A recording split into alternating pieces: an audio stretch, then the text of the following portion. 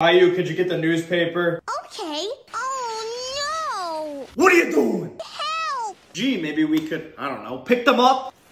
I caught one! Congrats! It's a piece of paper. There's my comics! No, Gilbert! I wouldn't... Pull that. Look what Gilbert did! Well, you're the Einstein that pulled it. Come on, I hope you fix it.